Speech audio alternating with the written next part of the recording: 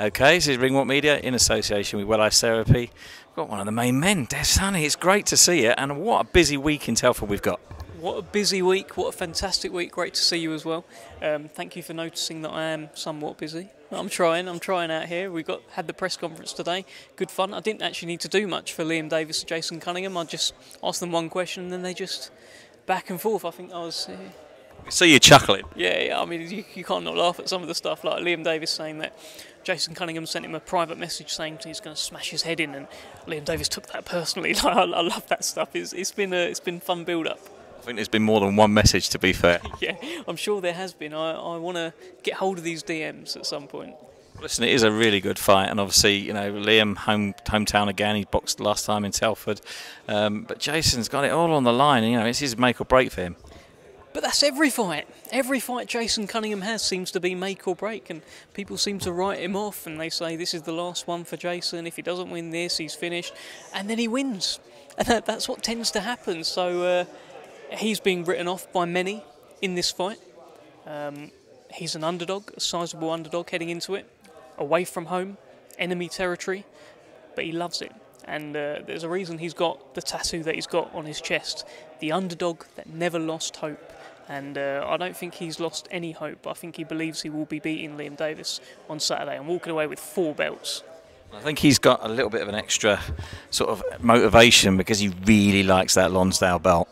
He does like the Lonsdale belt. It wasn't here today, but I, I understand it's going to be here tomorrow. And look, he never lost those belts in the ring, right? Never lost the British, never lost the European in the ring. So he's looking over at them and he thinks they're his. And he thinks they're going to go back to Doncaster with him on Saturday. So uh, let's see. Liam Davis will have an awful lot to say about that. An awful lot to say about it. And um, for Liam Davis, it could be a bit of a, a breakout fight as well.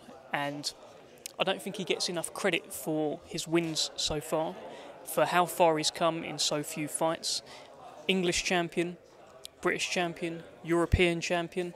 Uh, he's got some international titles as well. Beat Mark Leach, who was on a tremendous run of form. Um, He's a hard, hard person to beat. like when you see someone take a fight with Mark Leach, you just kind of think, why have you taken that? That's that's a hard night. But he beat him. He beat Baluta as well, and uh, he he's looking the part right now. And if he can beat Jason Cunningham, it's another big statement. And I think he's he's cultivated quite a following here in Telford. They're really getting behind him. I think wins over the likes of Jason Cunningham, a couple more, a bit of a rivalry building with Dennis McCann as well. Uh, I think he's starting to get the, the attention outside of Telford too. That'd be a nice fight. Dennis McCann and uh, Liam Davis for a world title. Uh, yeah, it'll be nice, and I think it'll be quite nasty as well. I mean, uh, Very nasty. very nasty. Dennis McCann will be tomorrow with me tomorrow for the for the weigh-in. We'll be having a chat. We'll be seeing who he thinks is going to win, and if he fancies the winner. But he's got uh, he's got his own fight coming up. Ionut Baluta, August 18th, and people are looking at that as a huge step up for Dennis McCann. So uh, he'll be looking to make a statement as well. It's it's such a great time to be a super bantamweight in this country.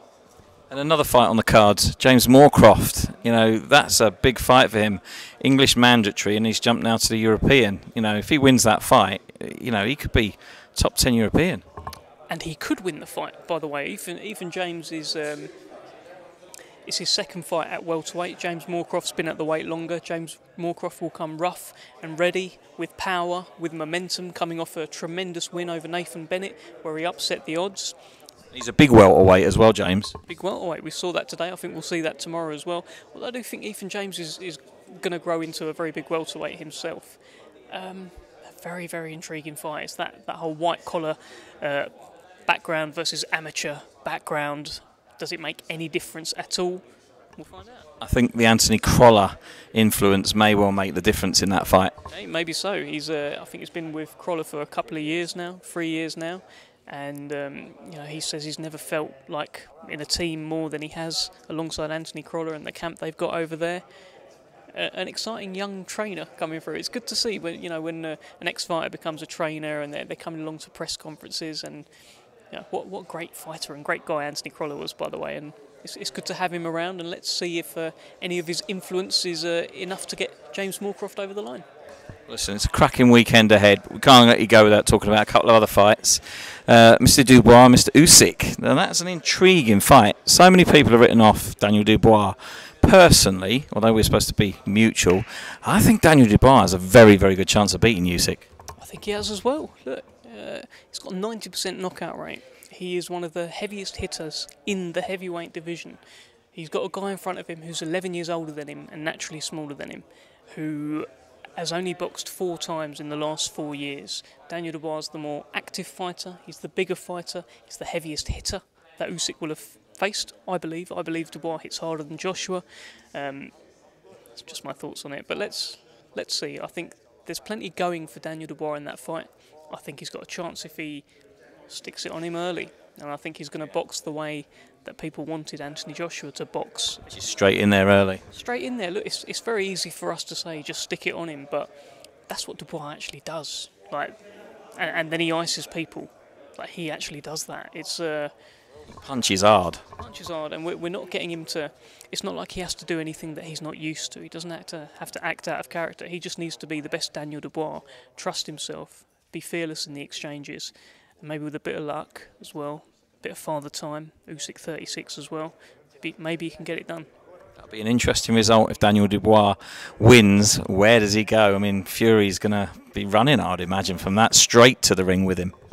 Yeah, I mean, look, that would be a an in-house undisputed fight for, for Queensberry in the heavyweight division. It's, it's quite a scenario, and Frank would like that. It may well play out. It may well play out. Let's see. Listen, and of course, Joe Joyce and Zhang back in the ring again, eye for an eye. Um, what do you think? How would you make of this fight? Because it's definitely make or break for Joe with this fight. Yeah, it is make or break for Joe Joyce. He um, did he underestimate Zhang? Maybe a little bit in the first fight, and uh, he, he's always been a guy that takes risks, takes hard fights, and he took one that was maybe a risk too far in Zhilei Zhang. Uh, I think. Do you think he was forced into taking that risk because of the shenanigans going on in the heavyweight division? No, he just he needs to take good fights, um, and he needs to be active because you, do, you don't want to then have your shot at Usyk and you've gone into it with, with no momentum at all. He, he needs that, and he was building up a, a, brilliant head of steam. You know, the Joseph Parker fight, that win as well. Uh, and yeah, look, he just came unstuck against Zhang. He thinks he's got enough to correct his mistakes from the first fight. We'll find out. You think that if he does come through that fight with Zhang, that he gets the winner of Dubois and uh, Usyk possibly? I think look, he will be the WBO mandatory again, uh, which puts him in the queue for a shot at the winner. I think the IBF is meant to be next, but yeah, who knows? Listen, it's going to be a cracking uh, few months for uh, Queensberry, no matter what happens. And of course, TNT Sports now, not a change of name and a change of logo. It's all looking good for you guys. It's all looking very good. TNT, it's going to, it's going to be very explosive. What, what a start, by the way, that we just got this brilliant Telford show and then just the best fight in the world. Errol Spence against Terence Crawford. Pretty good start. I was going to ask you about that, but who do you think is going to win on that? Because that is a cracker. Yeah, everyone's saying it's a 50 50 fight, and then they just pick Crawford. So um, I, I, I'm picking Crawford. We've gone for Spence. Really? Okay. Yeah, just I think he might. That I know that, that has gone for that. But so, good. Maybe it is a 50 50, but yeah, I'm looking forward to it. I think Spence is going to really, you know, see this as his defining moment in his career. So he's going to leave everything in that ring, I think. I think they both will. I think they both will. Uh, very, very intriguing fight. I'll be driving home from Telford on the Saturday night, and then hopefully I'll get home in time to just about in time, and then uh, switch it on. Listen, have a cracking week this week. Really appreciate your time as always, and uh, thank you very much. No worries, my friend.